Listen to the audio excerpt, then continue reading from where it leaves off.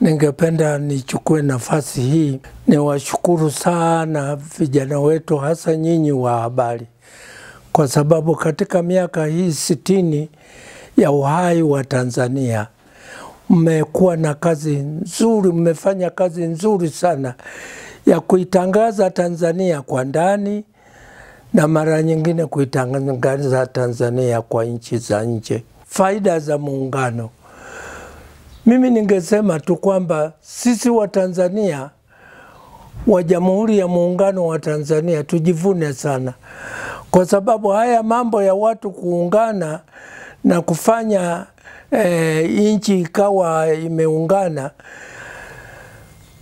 wengi wamejaribu, lakini wengi wameshindwa. Kwa mfano, utakumbuka muungano wa Senegal na Gambia ulikwenda, lakini haukufaulu sana. E, utaona kwamba mahali pengine duniani e, Syria na, na, na, na, na Lebanon katika miaka ya nyuma walijaribu kuungana, lakini wakashindwa. Kwa hiyo sisi wa Tanzania muungano wetu umekuwa ni muungano wa hakika, umetoa vyombo mbalimbali vya kusaidia kuimarisha muungano. Kwa mfano, ukiangalia kwenye mambo ya usafiri, ikiwa ni usafiri wa anga, usafiri wa bahari.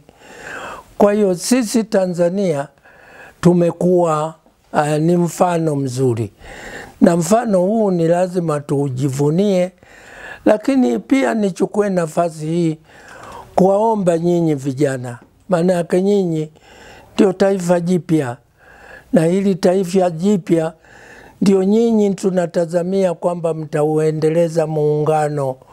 Kwa hiyo sisi tunawapa muungano ambao tumeulea kwa miaka iliyopita. Inawezekana hapa na pale labda tulikosea, lakini bado muungano upo. Sasa ni zamu yenu kuuendeleza mpaka hata tufike miaka elfu moja. Tunaposema muungano wa serikali mbili, maana yake nini? Ilikuwa ni serikali mbili kwenda kwenye muungano wa serikali hii moja.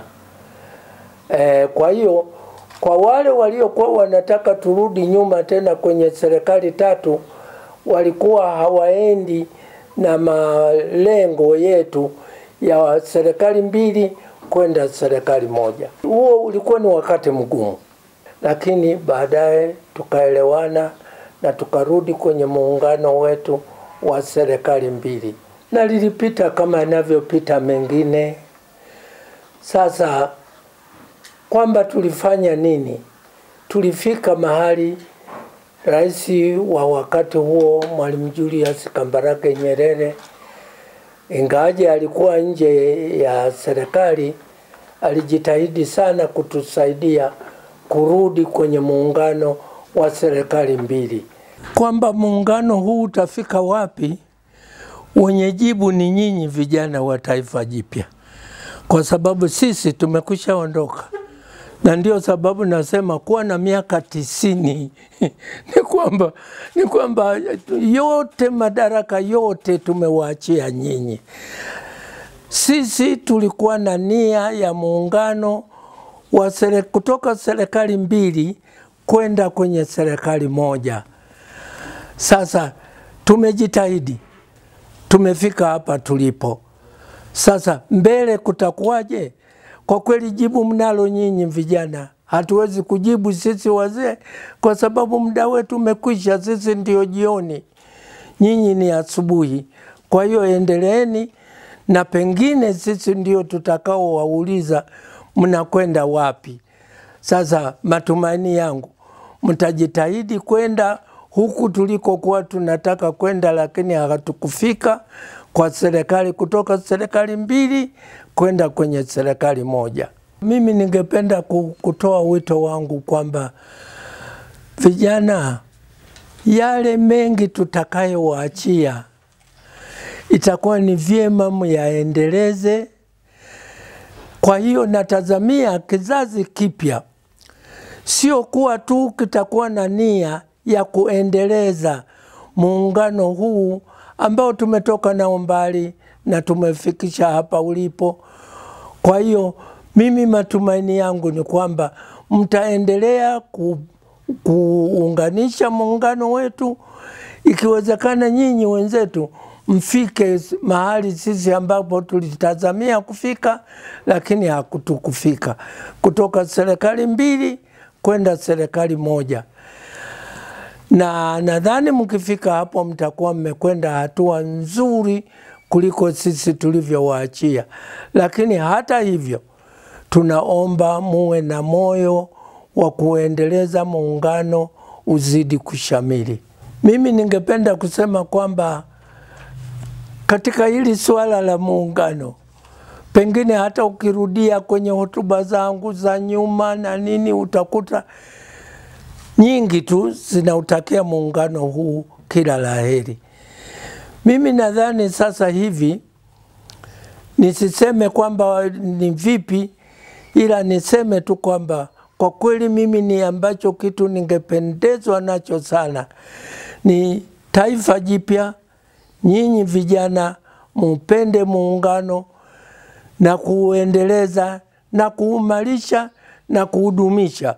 Kwa sababu tumeona faida nyingi sana za muungano na tumeona kwamba muungano hata katika ngazi za kimataifa zimeifanya heshima Tanzania iheshimike sana, na Tanzania kuheshimika kwake ni pamoja kuona kwamba ni nchi ambazo zilikuwa nchi mbili, lakini zikaungana na kutengeneza muungano ambayo ndiyo Jamhuri ya Muungano wa Tanzania. Kitu kilichofanya muungano na kinachofanya muungano uendelee ni kwamba muungano kwanza unatokana na watu ambao asili yao ni moja. Kwa mfano, ni ukweli kwamba ingawaje wenzetu wa Zanzibar ni wa Zanzibar, lakini tunakubali baadhi yao wengi wana uhusiano wa kindugu na wa kidamu na Tanzania bara. Kwa hiyo wengi wa Zanzibar wanajiona kwamba ni sehemu nzuri ya muungano kwa sababu inaunganisha hata mambo ya kale huko ya babu zetu ambao walikuwa ni kitu kimoja. Umeufikisha muungano mahali ambapo wewe na Mzanzibar na wengine wote tunajiona ni kitu hiki. Kwa hiyo unapojiona kwamba ni kitu kimoja, swala la kusema fulani anammeza fulani halipo, linakuwa ni kama swala tu na mbao ya futi mbili, ukiongeza si ukiongeza tatu zinakuwa tano. Hakuna iliyomezwa, ila zimebaki futi tano badala ya futi mbili na futi tatu. Sidhani wakati ule ni sawa na wakati wa hiki kizazi kipya. Mimi hiki kizazi kipya sioni vipi Mzanzibari ataona anamezwa na Tanzania anamezwaje? E, maana yake hapa ni kushirikiana kwa kazi na kadhalika.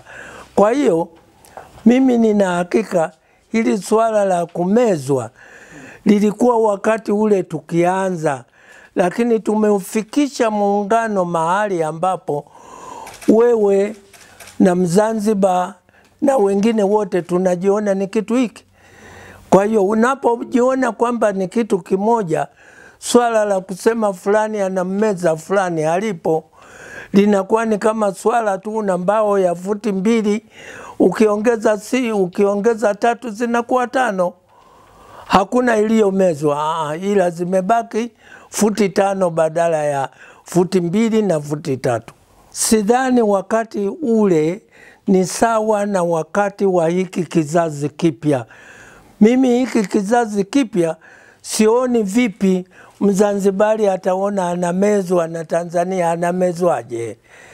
E, maana yake hapa ni kushirikiana kwa kazi na kadhalika.